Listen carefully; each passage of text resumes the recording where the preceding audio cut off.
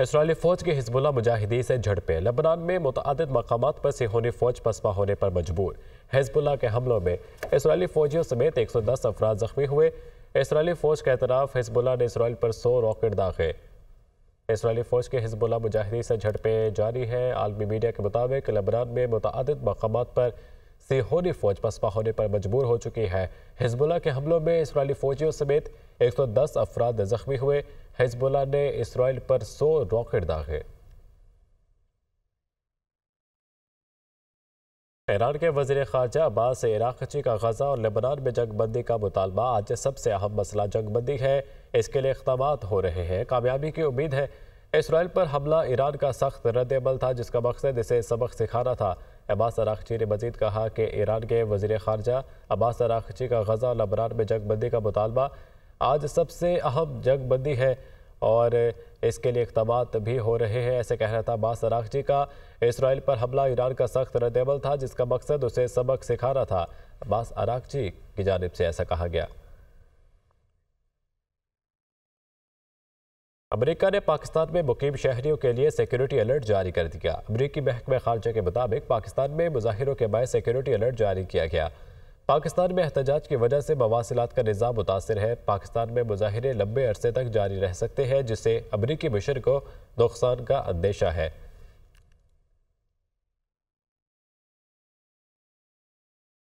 Israel के लबनान में ज़मीनी और फ़जाई यलगार मुख्तलिफ़ हमलों में पच्चीस शहरी शहीद हिजबुल्ला के मुमकिन सरबरा हाशिम सफ़ीुद्दीन का गुजशत जुमे से दीगर क़्यादत से रबता मुनकता है। इसराइल के लबनान में अस्पतालों पर शदीद बमबारी, बरतानवी वजी खारजा के सेहत के मराकज़ पर इसराइली हमलों की मजम्मत। इसराइल आलमी कवानीन की पासदारी को यकीनी बनाए, बरतानवी वजी खारजा का ऐसा कहना था, इसराइल के लबनान में ज़मीनी और फ़जाई यलगार जारी है। मुख्तलिफ़ हमलों में पच्चीस शहरी शहीद हो गए। हिजबुल्ला के मुमकिन सरबरा हाशिम सफ़ीुद्दीन का गुजशत जुमे से दीगर क़्यादत से रबता मुनकता है।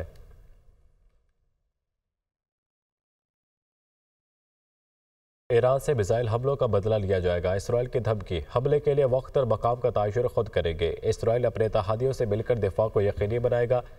ईरान इसराइल के लिए ख़तरा बन चुका। इसराइल का ऐसा कहना था, ईरान से मिसाइल हमलों का बदला लिया जाएगा। इसराइल की धमकी हमले के लिए वक्त और मकाम का तयन खुद करेंगे। इसराइल अपने इतिहादियों से मिलकर दिफा को यकीनी बनाएगा।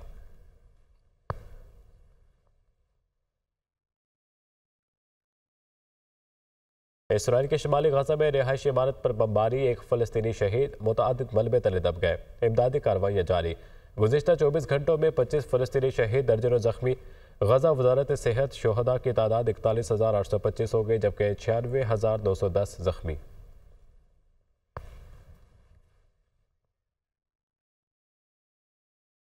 पाक फौज शंघाई ताउन तंजीम के सरबराहान ममलिकत के अजलास के सिक्योरिटी के लिए तैनात की गई। पाक फौज के तैनाती का मकसद शहरीों के जान माल को शरपसंदों से तहफ़ फ्राहम करना भी है। वजारत दाखिला ने आइन के आर्टिकल दो सौ पैंतालीस के तहत पाक फौज की तैनाती के अहकाम दिए।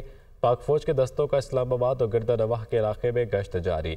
किसी शरपसंद को अमनोमान ख़राब करने की इजाज़त नहीं दी जाएगी। आर्टिकल 245 के तहत फौज बुलाने के फैसले को किसी अदालत में चैलेंज नहीं किया जा सकता। फौज की मौजूदगी के दौरान होने वाले इकदाम को भी हाईकोर्ट में चैलेंज नहीं किया जा सकता। आर्टिकल 245 और एमरजेंसी के नफाज में फ़र्क यह है कि इस आर्टिकल के तहत फौज बुलाने का हुकूमत को कोई हिसाब नहीं देना पड़ता।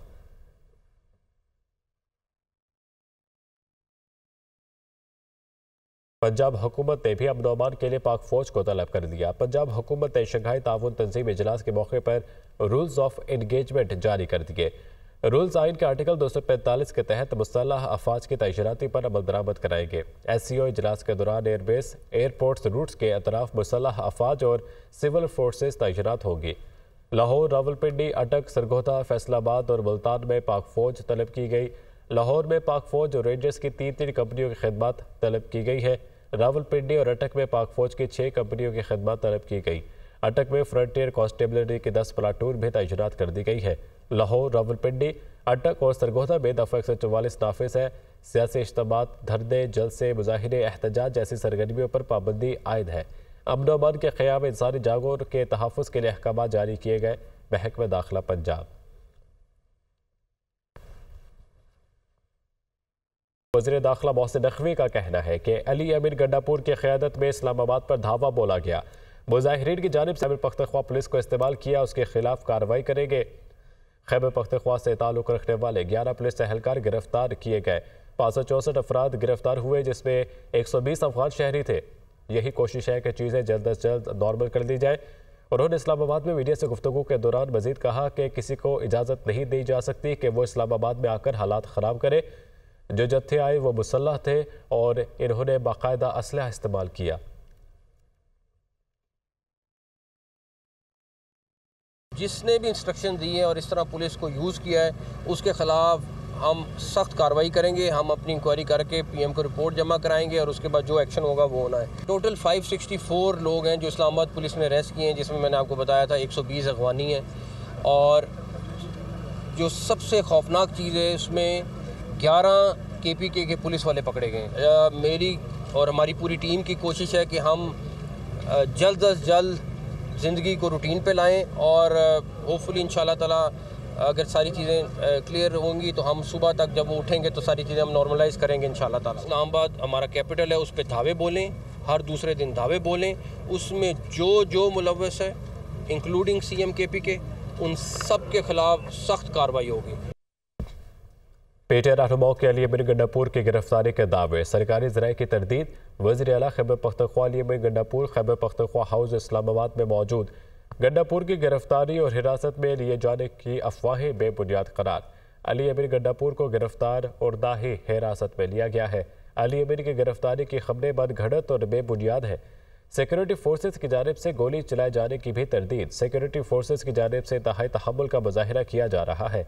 गोली चलाने की खबरें बिल्कुल बेबुनियाद और गुमराह कन है। मुसदिक इतलात आने तक क़यासराइयों और अफवाहों से गुरेज किया जाए, सरकारी जराए की वजाहत। Chairman P T I barrister Gohar की के पी हाउस में अली अमीर गड्डापुर से मुलाकात।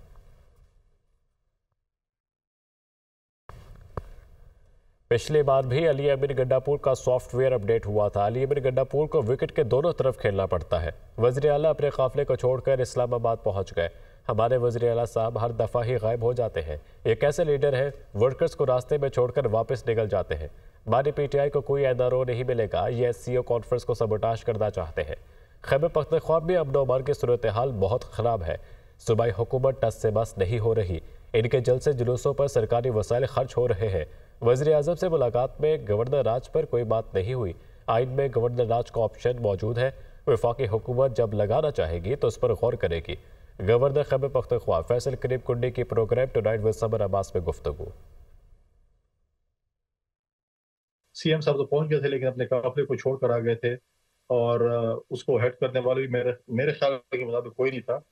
तो वो यहाँ पर आए और डेफिनेटली जो है वो आ, उन्होंने एक विकेट के दोनों तरफ़ खेलना पड़ता है उनको तो विकेट की दूसरी तरफ़ खेलना उन्होंने शुरू किया। अब देखते हैं कि वो क्या करते हैं इसके ऊपर। ये तो उनसे पूछे ना कि हमेशा हमारे जो है ना वज़ीर साहब गायब हो जाते हैं, फिर आ जाते हैं। वो एस की जो है वो कॉन्फ्रेंस को खुदा न खासा सबोताज करें। क्योंकि माजी का जो इनका रिकॉर्ड है, जो कि डी चौक में जब शी जिपिंग आ रहा था, उस वक्त भी इन्होंने यही काम किया था। तो आप देखें कि जब पिछले हमारी जब हुकूमत थी तब एतमाद हुई थी आई एम एफ़ के साथ भी इन्होंने मुल्क दुश्मनी की थी। आज दोबारा जब मलेशियन प्राइम मिनिस्टर आए हैं और एस की कॉन्फ्रेंस होने जा रही है, दोबारा उसको सबोताज करने के लिए खुदा खास्ता वो एक काम कर रहे थे जो खैबर वफा के हैं या आप स्वाद की सिचुएशन देखें। मतलब है कि लोगों का जान माल का जो है वो तहफ़ नहीं फिर अपने इंतजामिया से कहते हैं कि आपने गाड़ियाँ करनी है, लोगों को खर्चा देना है, खाने पीने का देना है, सब कुछ करना है। जब और सरकारी वसायल जो हमारे टैक्स पेयर के पैसे लगा रहे हैं जिस ये अपने पैसों पर जलसा करेंगे, फिर मैं इसे पूछूँगा कि आप कितने जलसे करते हैं। आइन में अगर गवर्नर राज की है और ऐसी सिचुएशन आती है कि वफाकी हुकूमत समझती है कि उसका जो है इस वक्त इतलाक ज़रूरी है।